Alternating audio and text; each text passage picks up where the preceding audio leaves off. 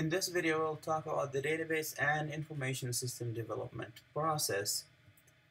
Now, I found this um, funny picture on the website right here, and it talks about when a customer requests a project and what they tell us, what we deliver, what they need, and so on. So let's look at it. So supposing that a customer came in and explained this project as the project they want, you know, sometimes customers are not the best in explaining what they really want or what they really need. Now, our project leader might have understood it like this. And the project leader will send it to the engineers. The engineers always like to overcomplicate things, so this is what they come up with then our programmers will write the code. You know the programmers sometimes will write something that just needs to work. So this is what they come up with. Now our sales representatives tasks is to make the thing look pretty in the eyes of the customer. So this is how they describe it to our customer. Documentation is usually bad so this is how we document it. And our operations will install this. But then as a company, we want to make profit. So this is how we will help our customer. And then our help desk support is going to be something like that. But then out of this, all the customer actually needed is this part right here. So the main thing that will make a project go wrong is miscommunication. So let's talk about data modeling. So the data modeling is the first step in the database development in which the scope and general content of organizational database are specified. So we are trying to avoid miscommunication. We have two popular approaches to information system development.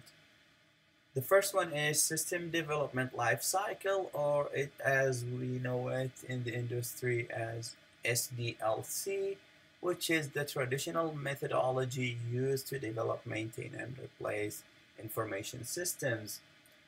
The other approach is prototyping, in which requirements are converted into a working system that is continuously revised through um, close work between the analysts and the users. So let's see uh, both of those in a little bit more details. So if we want to compare between those two, SDLC is the traditional method. It's highly structured, it's well planned and detailed, but it's time consuming. Prototyping, on the other hand, is uh, following rapid application development, which is referred to as RAD or, or RAD. It has less planning and adaptation happens iteratively, but then it's faster than prototyping. I mean, than SDLC, sorry. So the first phase, uh, phase of SDLC is the planning phase.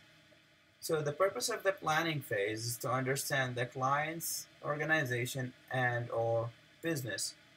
In the database activity, we will uh, design our conceptual and enterpri enterprise modeling in which we will analyze current data and data requirements, we'll analyze business functions, and we will identify the scope of the database.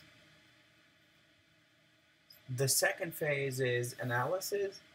And in the analysis phase, we want to do a thorough requirement and structure analysis. So we, we gathered the requirement previously in the previous phase, which is the planning phase. Now we want to do some kind of analysis on those requirements.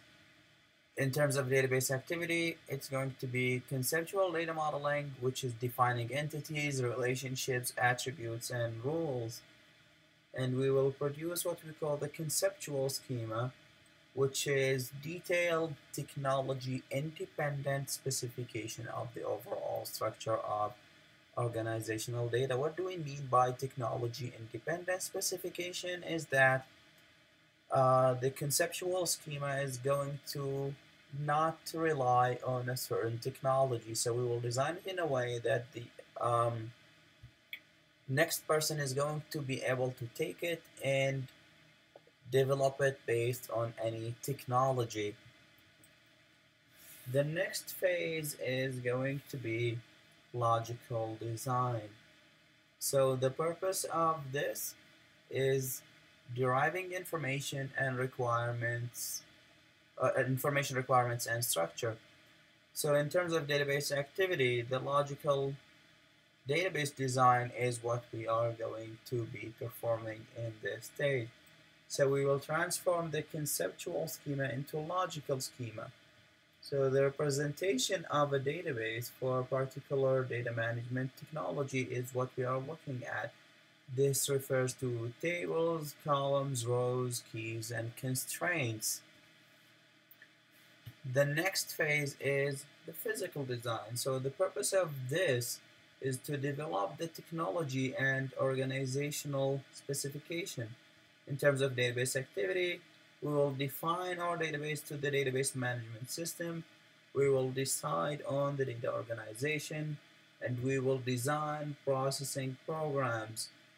We will also design what we call a physical schema, which is a set of specifications that describe how the data from the logical schema are stored in a customer's secondary memory by a specific database management system. So uh, we will be able to say, okay, based on this database management system, let's say MySQL in our case, this is how we are going to store our data. Next phase is implementation. And in this phase, the purpose is to program, to test, and install, and then train the user on our system. In terms of database activity, it's basically the actual database implementation along with any implementation of any programs. We'll install the database, we'll perform some testing, we will train our users to use our database. And uh, for the programs, they can be developed in any other language. So the database is going to be developed in SQL, but then the programs can be developed in Java, C Sharp, Visual Basic, .NET, any application or any program that can contact the database or talk to the database and pull information, push information, and so on. The next phase is going to be maintenance phase. The purpose of this is to monitor and repair and enhance any problems or anything, any parts of our system in terms of uh, database activity. We will monitor the database performance. We will tune the database to improve, improve the performance if we need to do so. We will be able to be fixing database errors and we will also recover the database. Now as you see from maintenance phase I have another arrow going to planning phase and this is going to go through the cycle once more. So why do I have this? Is because the the maintenance phase is the longest phase of SDLC. It's going to be there throughout the life of the system and anytime we have a problem we will have to plan and analyze do logical design physical design and then implement and then go back to maintenance so anytime we want to do any kind of fixing or Uh, improvement, we will have to go through the cycle once more.